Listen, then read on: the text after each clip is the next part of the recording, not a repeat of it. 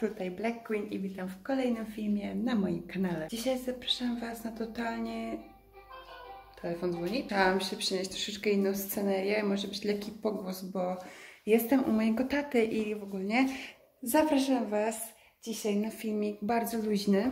Może tutaj sobie usiądę. Myślałam, żeby to będzie, żeby zrobić z tego reading vloga, ale szczerze nawet nie wiem, czy ja skończę jakąś książkę tutaj bo przyjechałam do taty na Mazury na trzy dni, tak naprawdę, no na weekend.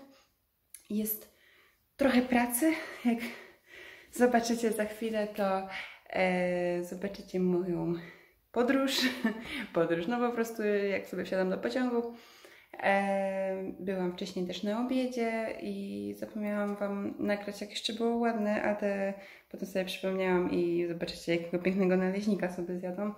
No, ale wracając, e, przyjechałam właśnie do taty i, i muszę tutaj e, układać drewno i jest troszeczkę tutaj pracy takich stricte związanych z, z gospodarstwem. E, także no, nie mam tego czasu na czytanie zbyt dużo. Jeszcze no po prostu chcę z tatą trochę czasu spędzić i robimy jakieś tam spacerki i tak dalej. Ja przez to, jesteśmy we dwójkę, to, to nawet audiobooka tak słabo włączyć. Aktywnie to słucham dwóch audiobooków, a tak dokładnie to czwarty, piąty, piąty, piąty tom Wiedźmina, czyli yy, Chrzest Ognia. Jeśli się nie mylę, mam nadzieję, że nie, jeśli tak to przepraszam. I pierwszy tom Ani z Zielonego Wzgórza i już teraz mogę Wam powiedzieć, że powrót do tej książki to jest coś, czego naprawdę bardzo potrzebowałam. Cudowna jest ta książka i mam nadzieję, że y, w tym vlogu zdążę ją skończyć. Dobrze, już się rozgadałam, także zapraszam Was na przebitki i widzimy się w następnym update'cie tego vloga po prostu.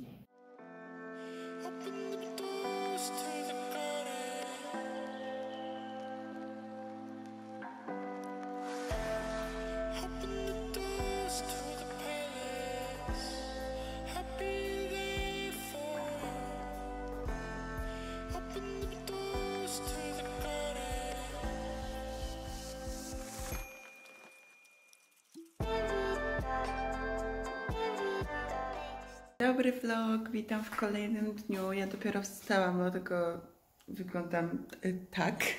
Jak widzieliście wczoraj e, dużo pomagałam tacie. E, okładaliśmy drewno, byliśmy na spacerku też nad rzeką. No i dzisiaj na pewno to drewno będziemy kończyć, bo jeszcze troszeczkę zostało. Ale poza tym dużo atrakcji, że tak powiem, jest przygotowany, już mamy zaplanowane statut, co będziemy robić, także na pewno nie będę się nudzić, a oczywiście Was zabiorę ze sobą. Ja lecę się ogarniać, bo wyglądam jakbym dopiero wstała, co tak dokładnie to wygląda. Yy, I przypomniało mi się, żeby Was nie zanudzać tym, jak się ogarniam, jak się maluję, że jestem Wam winna room tour, który obiecałam Wam już, o, już dawno, dawno temu i po prostu stwierdziłam, ej, a gdyby tak po prostu Wam tutaj wrzucić ten room tour, jakby to jest zwykły luźny vlog, więc dlaczego nie? Także ja lecę się ogarniać, a Was zapraszam do mnie z przeszłości, jak prowadzi Was, opowiada o swoim pokoju na Pomorzu, także, także zapraszam do oglądania, a my widzimy się w następnym update'cie. Dobrze, to może zacznijmy ten mały y, room tour. Kiedyś Wam nagrałam na pewno dużo lepszą wersję tego, więc dzisiaj tak pokrótce. Tutaj mamy drzwi. Jak widać, bardzo lubię kolekcjonować e, naklejki różnego rodzaju i mam po prostu całe drzwi tym e, poklejone. Więc jak wchodzimy, to tutaj po lewej stronie mamy lustro, w którym po prostu przeglądam moje outfity. Tutaj na to proszę nie zwracać uwagi, bo to są rzeczy, które muszę posegregować, a tutaj są rzeczy do oddania, jakieś ciuchy za małe, za duże i tak dalej. Tutaj jest moja szafa, do której dzisiaj nie będziemy zaglądać. Tam są różne kartony typu yy, tutaj mam moje lakiery hybrydowe, tutaj mam z tyłu mm, moje różne torebki, plecaki i tak dalej. Tutaj są ciuchy letnie, ale to też jest nieważne. Jakby przejdźmy dalej. Tutaj jest stanowisko komputerowe, tutaj mam swoje notesy, tutaj leci muzyka, mini kosmetyczka, bo tutaj są takie delikatne produkty, żeby szybko poprawić makijaż. No i tutaj moje stanowisko, gdzie montuję dla Was filmiki. Ale nad tym wszystkim znajduje się cudowna kolekcja um, obrazów, rysunków w antyramach. Wszystko wykonane przez mojego cudownego chłopaka, bo nie, ja nie mam takiego talentu, także to nie są moje prace. I tutaj jest plakat um, mojej ekipy, właśnie moich najbliższych znajomych. Wszyscy jesteśmy przerobieni tutaj na różne postacie z um, różnych filmów i tak dalej. I jak widać, ja jestem Scarlet, Scarlet Witch z Marvela. E, dalej mamy moją biblioteczkę, na której jeszcze jest dużo do zmienienia, więc tak tylko tutaj mm, rzucę, jak to mniej więcej wygląda. Dalej mamy mój statyw, na którym nagrywam TikToki albo jakieś recenzje. Tutaj są moje plakaty. To jest moje łóżko i moje dwa kochane pluszaki. To jest Bernard, a to jest Mavis. I tutaj mamy moje lampeczki.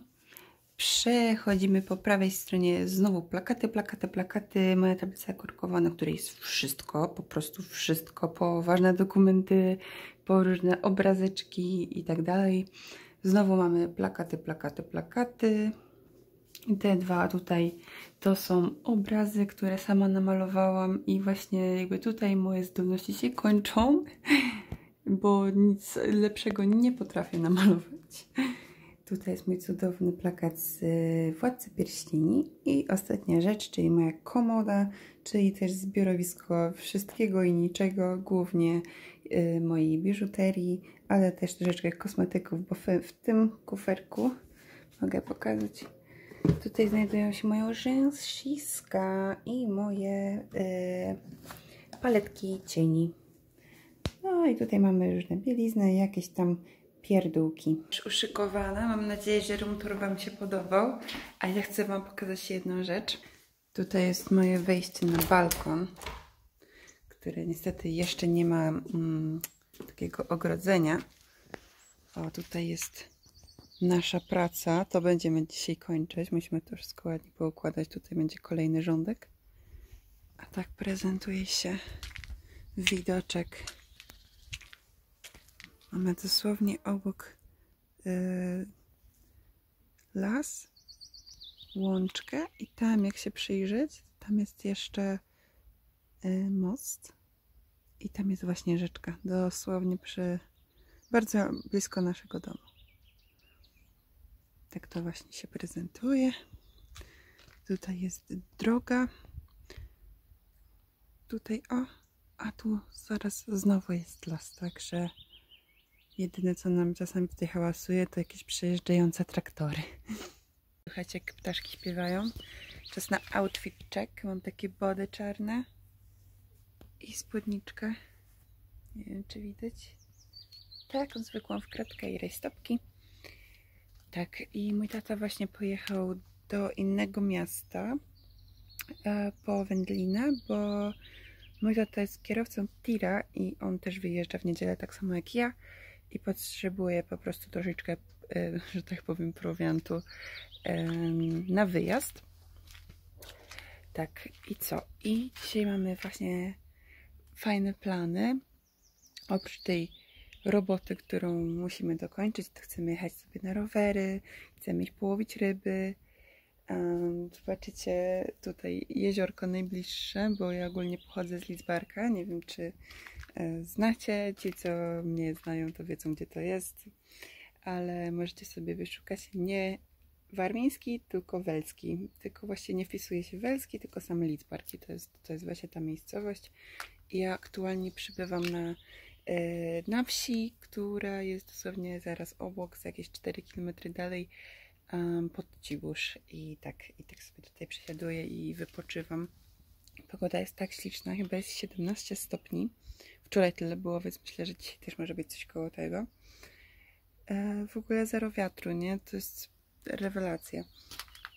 Tak, i ogólnie chciałam sobie do Was pogadać, bo póki nie ma taty, to mam większą swobodę mówienia.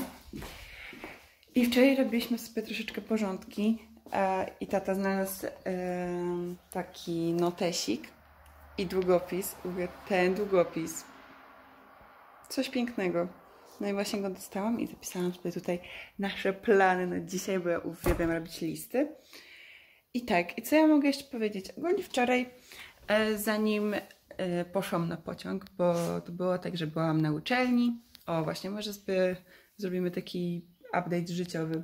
Wczoraj byłam na uczelni. Mamy teraz aktualnie sobotę. Mamy sobotę 22 kwietnia, jakby co. No to wczoraj piątek, 21 kwietnia, byłam sobie na uczelni rano i miałam y, kolokwium z mikroekonomii. Ci, co wiedzą, ci, co nie wiedzą, to powtórzę. Ja mikroekonomii nie zdałam w zeszłym roku i dostałam warunek i muszę go zdać w tym roku. Także był to dla mnie bardzo stresujący egzamin, ale napisałam wszystkie zadania. Uczyłam się 5 dni od niedzieli tak bardzo intensywnie i wydaje mi się, że zdałam, także trzymać kciuki. Jeszcze muszę zdać drugie kolokwium i potem cały egzamin z, z całego roku. Także właśnie zaczął mi się taki okres na studiach, że już kolokwia zaczynają i właśnie mam, mam nadzieję, gdzieś tam głęboko wierzę, że mikroekonomia poszła dobrze. Na pewno będę Was tutaj informować w najbliższych tam filmach. Ale też miałam w środę y, kolokwium z, z nie mikroekonomii, tylko z marketingu. I wczoraj przeszły y, wyniki i byłam druga najlepsza w grupie. 18 punktów na 20, także jestem mega zadowolona i że jeden już y, kolos jest z głowy. No a w przyszłym tygodniu będę jeszcze miała ostatni um, dział, właśnie ostatnie kolokwium z rosyjskiego, ale rosyjski to jest taki przedmiot, że łatwiej mi przychodzi. E, I jeszcze mam kolokwium z rozliczeń międzynarodowych i tam głównie chodzi o kupno i sprzedaż walut i takie tam obliczenia. Jest to trudniejsze niż się spodziewałam, ale mam nadzieję, że jak się pouczę, e, to, to że po prostu to przebrnę. I tak, no i byłam sobie wczoraj na, e, na uczelni, a potem miałam jeszcze lekarza. Pojechałam do Gdyni i w Gdyni e, widzieliście pewnie poprzedni, w poprzednim filmie, jeśli oglądaliście, jeśli nie, to odsyłam. Pokazywałam Wam moją gablotkę z figurkami Lego i wiecie, że lubię zbierać takie rzeczy. E, więc jak wyszły Kinder Joye z Harry'ego Pottera, gdzie w środku były Funko Popy, to nie mogłam się oponować i udało mi się cztery figurki zdobyć. Mam Hermione, mam Harry'ego Pottera, mam Lunę i mam profesor McGonagall. Zauważyłam, że się rozmazałam i musiałam to poprawić. Przepraszam bardzo za mój niechlujny wygląd. I wracając. Nie było mojej ulubionej postaci, w sensie nie było, nie trafiłam, bo ogólnie kupiłam, nie pamiętam już ile figurek, ale miałam dwa razy powtórkę. Nie, raz miałam powtórkę z, z dwiema takimi samymi e, figurkami i dwa razy trafiła mi się Hermiona. No i Zdenerwowało mnie to, bo moją ulubioną postacią jest Ron. I mówię, no kurde, muszę iść i w końcu dorwać Rona. Idę sobie do Biedronki i się okazuje, że nie ma już tych jajek. Przynajmniej w tej Biedronce, do której ja chodzę. No to stwierdziłam, że czas wejść na OLX-a. I właśnie na piątek, bo właściwie to jeszcze było przed, pojazd, y, przed pojechaniem na studia, umówiłam się z jedną dziewczyną, i mam Rona. Zaraz Wam pokażę. Udało mi się zdobyć Rona. Jest cudowny, cudowny. Ale oprócz tego, no ta dziewczyna miała inne figurki, więc e, ciężko było się nie skusić. Mam jeszcze Hagarida teraz. Śliczny, mój chłopak bardzo go chciał, także kupiłam dla niego. I mam jeszcze e, Moody'ego, profesor Moody, on się chyba tak nazywał. No pięknie jest zrobione to te, te detale, no coś pięknego. Tu w tym oku takie marzyły. No a oprócz tego dostałam jakieś takie gratiski. Mm, to nie wiem, kto, kto to ma być. Szczerze mówiąc, czy to jest Cedric? Może? Serio nie wiem, bo on chyba był w Hufflepuff, tak? Ale jeśli się mylę, to możecie mnie poprawić w, kom w komentarzach, bo tak mi się wydaje, że to może być on. I potem pojechałam sobie do, do tej Gdyni. E, te zakupy figurkowe zrobiłam rano, ale potem miałam lekarza. No i po lekarzu miałam jeszcze ponad godzinę czasu właśnie, żeby iść na pociąg, więc weszłam do sobie do sklepiku charytatywnego i kupiłam sobie książkę. Ja tego nigdy nie czytałam. Wydaje mi się, że kiedyś oglądałam film, ale chciałabym przeczytać ją jeszcze raz. W sensie jeszcze raz prze, yy, przeczytać i jeszcze raz obejrzeć film, bo totalnie. O, Moody się sturlał, bo totalnie nie pamiętam tego filmu, a ja uwielbiam tego aktora. Najgorsze jest to, że ta książka jest strasznie zniszczona. Jak widać tutaj po kartkach, ona jest tak jakby wilgoć się do niej dostała. I kosztowała mnie całe 4 zł. I to jest w ogóle format kieszonkowy. Ale ja coś mam takiego w sobie, zupełnie jak moja mama, szczerze mówiąc, zupełnie jak moja mama, że jak ja widzę taką biedną książkę, a wiem, że mam plan ją przeczytać i normalnie po prostu bym ją wypożyczyła z biblioteki. No ale kto ją kupi? Nikt jej nie kupi, ona będzie taka biedna sobie stała.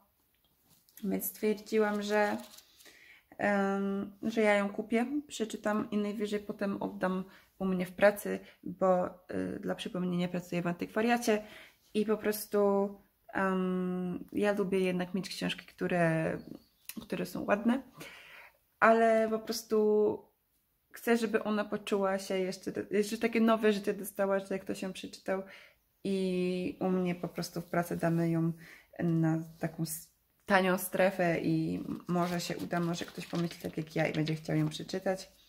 Także mam nadzieję, że szybko, chociaż mam naprawdę tyle książek na półce i tak już teraz przestałam kupować, ale naprawdę mam tyle książek na półce, że stwierdziłam, że nie ma co kupować.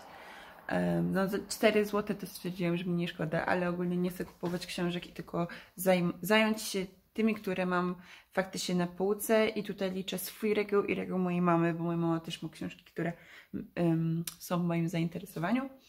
Tak, ale tutaj właśnie głównie dlatego, że chciałabym obejrzeć film i porównać sobie z książką, więc może, może zrobimy sobie um, może taką serię filmów zrobimy, czytam i oglądam i porównujemy sobie książkę. Już raz robiłam taki film, czy nawet dwa razy, nie, raz na pewno.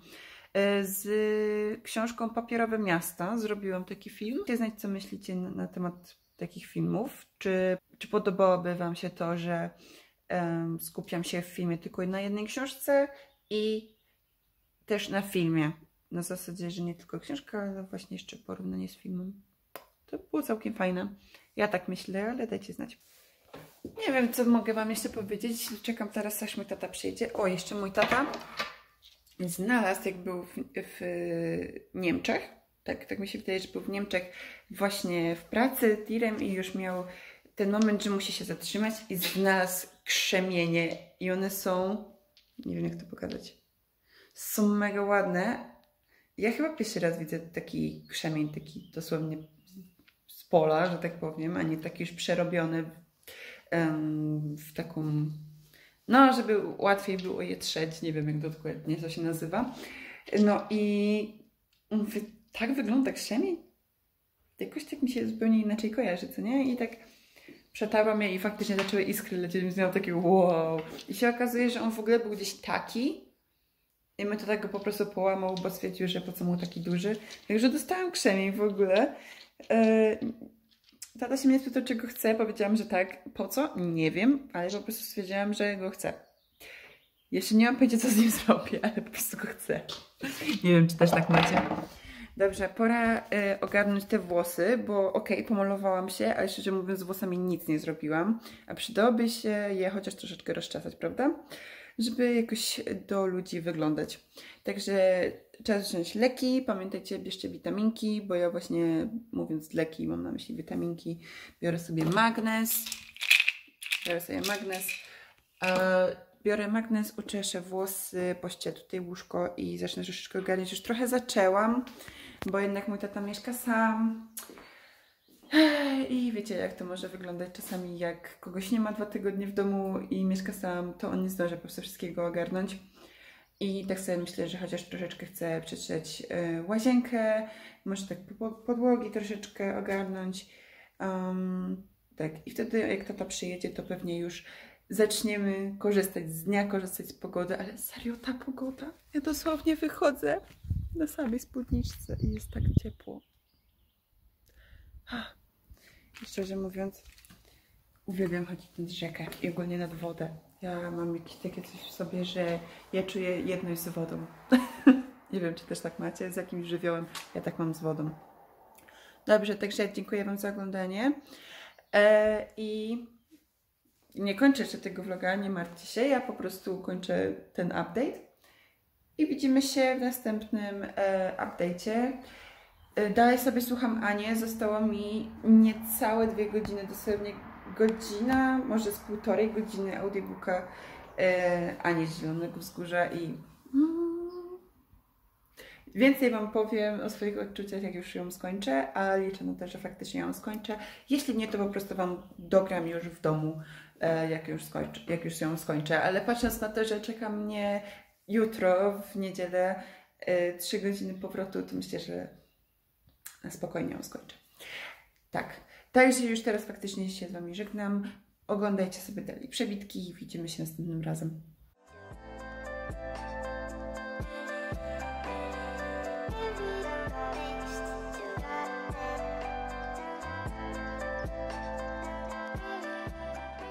Jak widzieliście przed chwilą, no to udało nam się skończyć całe to drewno i pięknie je ułożyć.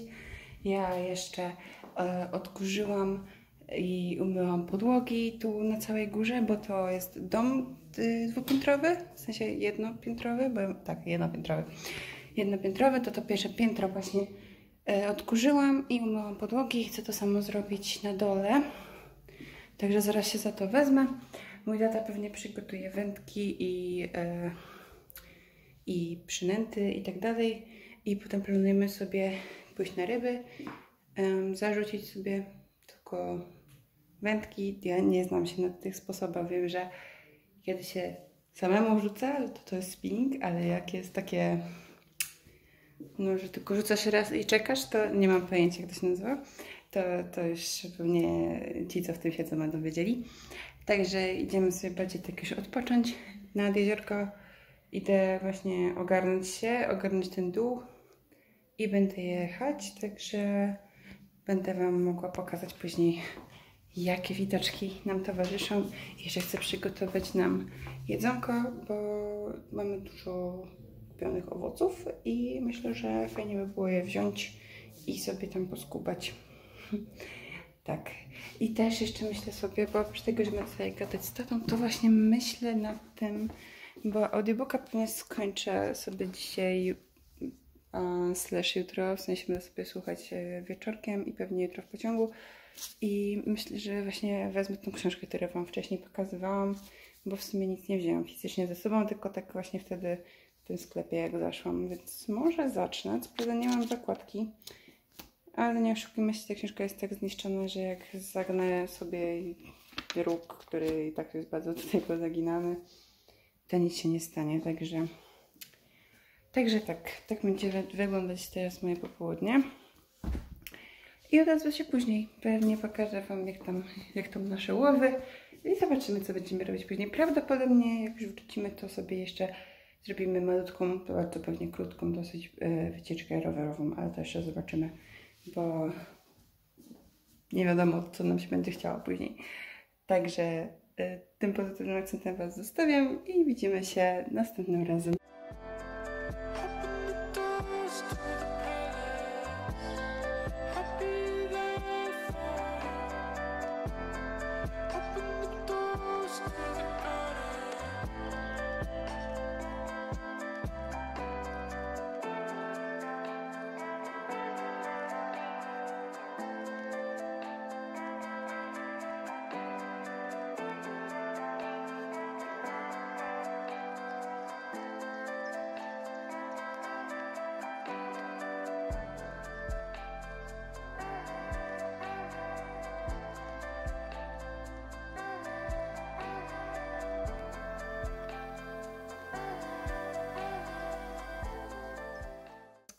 Kolejnym update'cie. Ja już wróciłam.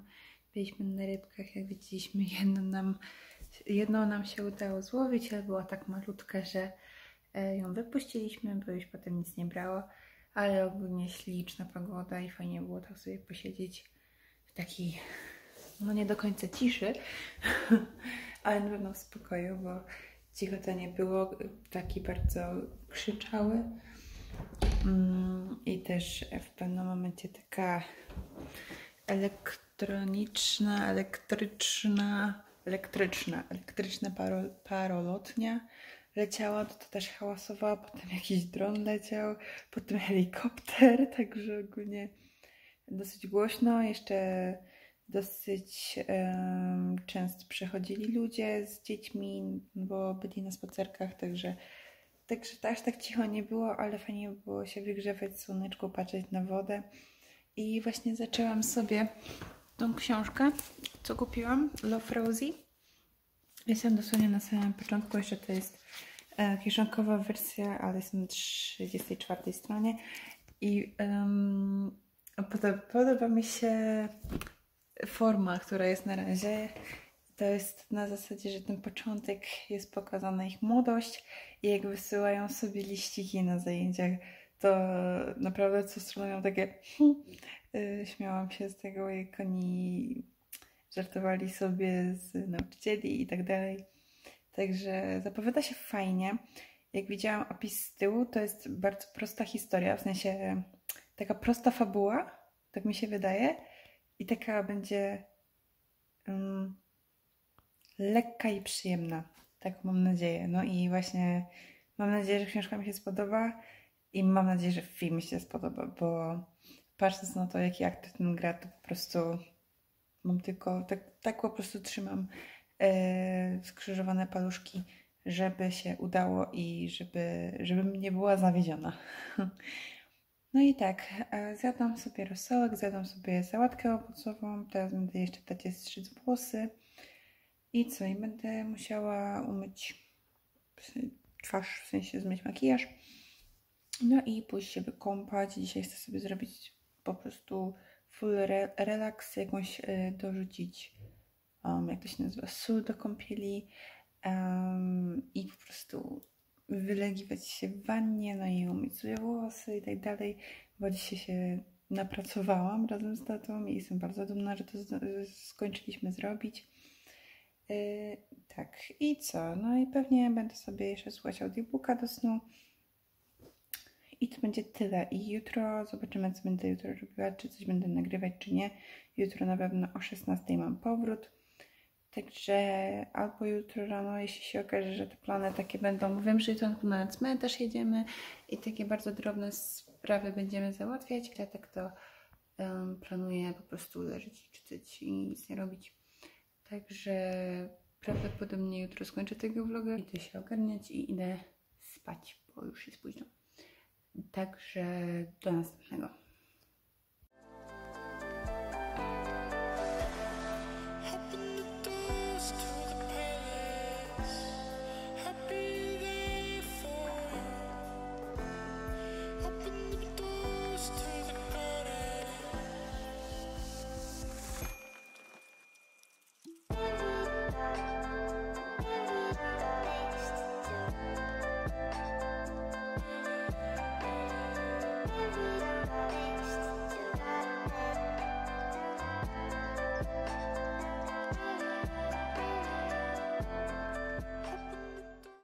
Witam bardzo serdecznie. Jak widzicie, jestem już w domu i będę kończyć tego vloga, ale moi drodzy, udało mi się skończyć książkę. Mówię tu oczywiście o Ani, o której już wspominałam.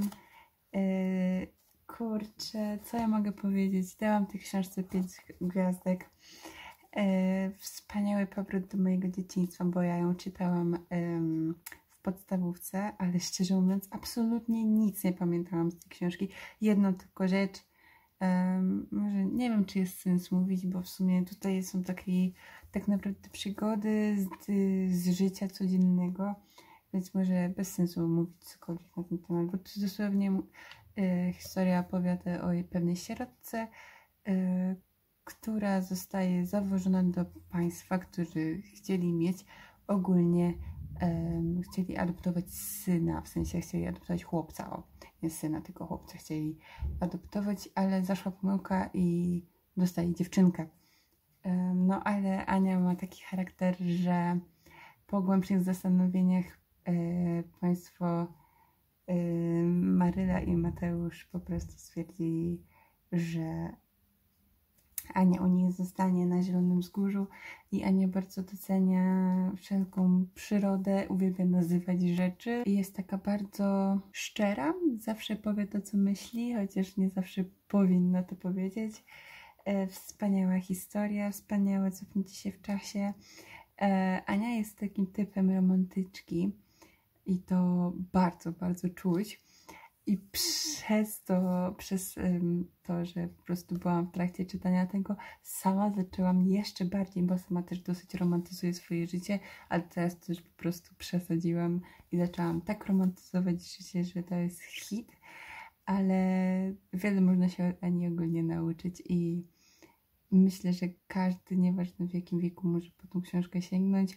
Pewnie większość z Was to czytała, bo mieli, mieliście to pewnie też kolekturę, tak samo jak ja ale po latach, szczególnie, że ja no, nie pamiętam kiedy to dokładnie czytałam, ale dawno, dawno temu, no to ja w wieku 22 lat teraz y, zupełnie inaczej to odebrałam. No i świe świetna jest i na pewno sięgnę po kolejne tomy, bo nawet mam.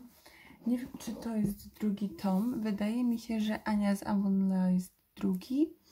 Avonlea, Avonlea czy Avonlea? Avonlea chyba i Ania na uniwersytecie to jest chyba tom trzeci. E, te mam z tego samego wydania, to nie, bo to jest właśnie jeszcze za czasów podstawówki mojej i to mi mama kupiła jak byłam mała, dlatego mam takie i sobie tylko dokupiłam e, te dwa tomy e, i bo w sumie one były w Oszą za 9,99 więc stwierdziłam, że je wezmę ale tak ogólnie to myślę, że nie będę zbierała wcale tej kolekcji, tylko po prostu będę wypożyczać z biblioteki, tak szczerze mówiąc. Po prostu wzięłam, bo, um, bo były tak bardzo tanie po prostu. Tutaj czytam aktywnie trzy książki, um, trochę fizycznie, trochę w audiobooku słucham sobie e, Chrzest Ognia, czyli piąty, piąty tom e, Wiedźmina, czyli trzeci tom właściwie tych, tej już fabuły, bo pierwsze dwa E, pierwsze dwa tomy to są tak naprawdę opowiadania, a od trzeciego tomu zaczyna się ta historia, więc to jest trzeci tom historii, piąty tom ogólnie w kolejności. E, dalej sobie czytam e, ten Włosing, bo tak naprawdę no jestem tak prawie w połowie ale przez to, że format jest duży, a ja mam plecaczek dosyć mały, który noszę na co dzień, to ja tą książkę czytuję tylko i wyłącznie w domu, a ja jestem raczej taką osobą, która bardzo dużo z domu wychodzi i dlatego audiobooki i takie mniejsze formy właśnie, które mieszczą mi się do plecaka y, są przeze mnie czytane po prostu częściej, ale bardzo fajna jest ogólnie ta książka, tak um, dużo jest rysunków, nie wiem, czy kiedyś pokazywałam, ale żeby było bardziej jasne, na przykład różne metody jakiegoś olejowania czy coś w tym stylu, to, to są właśnie um, rysunki bardzo takie pokazujące o co właściwie chodzi. Także bardzo fajne to jest. No i jak widzieliście w poprzednich klipach zaczęłam sobie Love Rosie, która jest właśnie w kieszonkowym wydaniu, także um, Także tak jestem tutaj na samym początku, dosłownie 38 strona. Yy, także tak i sobie czytam i na razie mi się podoba. Mam nadzieję, że dalsza część fabuły też będzie mi się podobała. I to będzie tyle, moi drodzy. E, dziękuję Wam bardzo za oglądanie. Widzimy się w następnym filmie. Cześć!